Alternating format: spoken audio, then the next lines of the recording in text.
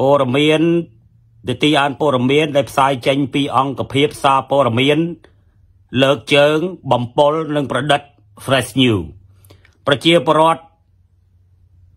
ចំនួន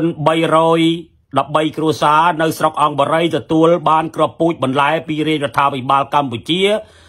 ដើម្បីឲ្យយកទៅធ្វើការដាំដុះទុកសម្រាប់កាប់ចោលនិងដកចោល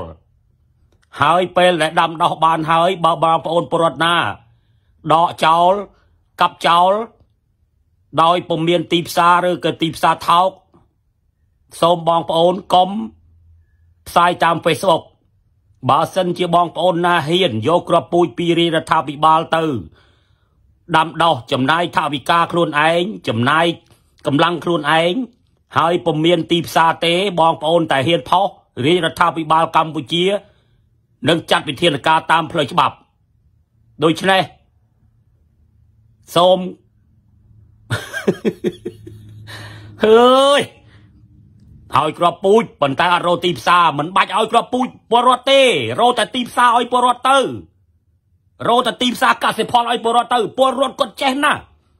ឲ្យតែមានអូទីផ្សារគាត់នឹងទៅបរោទិញក្របពូជទៅឯងហាក្របពូជទៅនឹងបាច់ទៅឲ្យទេ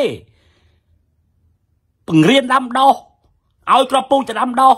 តែមិនរកទីផ្សារឲ្យគាត់ ទីផ្សារបណ្ដោយឲ្យយួនទម្លាក់តាមចិត្តខ្មែរដាំចៃថៅបានយួនមិនដឹងថាខ្មែរប្រមូលចៃថៅហើយយួនកសិករគេគេមានរដ្ឋាភិបាលគេចាំជួយលុយខាតគេយួយគឺគេយកកម្ពុជាជាទីផ្សាររបស់គេ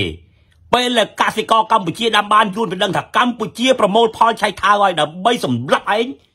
វាបញ្ចុះតម្លៃឆៃថៅវាមកប្រើយើងឆៃថៅយើងងាប់អានេះឧទាហរណ៍ ឆៃថៅយើងងាប់កាប់ចោលអស់វាដំឡើងថ្លៃមកវិញដាំស្អីបានអានឹងថោកដោយសារអីដោយសារយួនវាយទម្លាក់ទីផ្សារ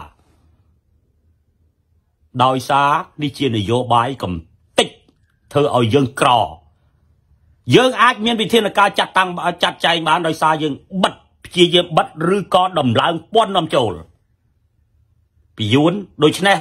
អាចរក្សាតម្លៃកសិកម្មខ្មែរកសិផលខ្មែរឲ្យបាន តែរបបលោកហ៊ុនសែនគឺជារបបកញ្ជះយួនមិនហ៊ានធ្វើអីយួនទេអរគុណ